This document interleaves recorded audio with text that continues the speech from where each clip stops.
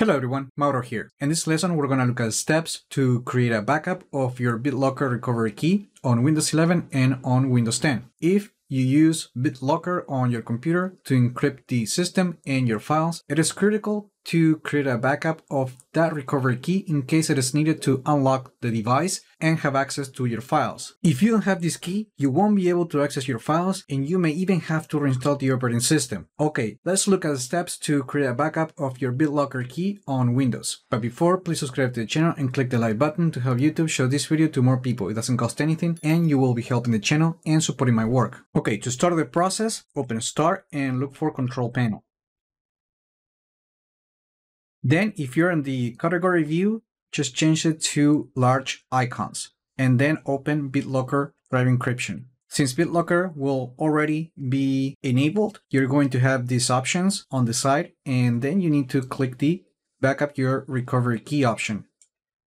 This will open up the wizard and here you have three options to backup the recovery key. The first one is to save it to your Microsoft account and that's a recommended option. To proceed, just click the Save to your Microsoft account option.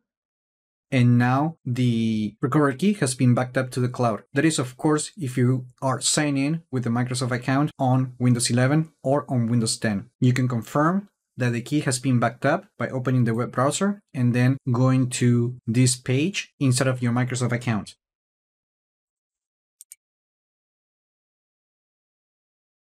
Now, if you have more than one computer connected to your Microsoft account, you're going to need to know the device name. And to do that, just go to settings and then on system, go to the about page and then review the name of the computer.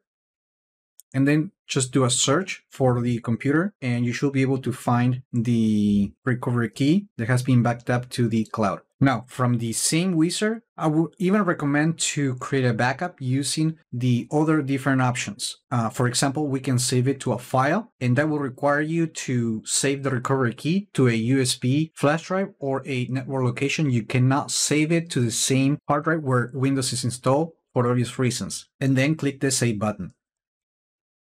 And if you have a printer, you may want to use the print the recovery key option and that will print out a hard copy of the BitLocker recovery key. And then you can save that into a secure location in case you need the, the key to unlock your PC. After you back up the recovery key, just click the finish button. Now, if you happen to use BitLocker on a secondary drive or removable storage, you're going to have to backup that key manually as well. So and to do that, just select the drive that is being encrypted and there you are also going to find the backup your recovery key option and then just click on that and then on the wizard, you're going to have the same options as backing up the, the key for the main system drive. For example, you have the option to, back up the key to the Microsoft account, save it to a file, and print out a hard copy. Select the option that you want to use, and once the process is done, just click the Finish button.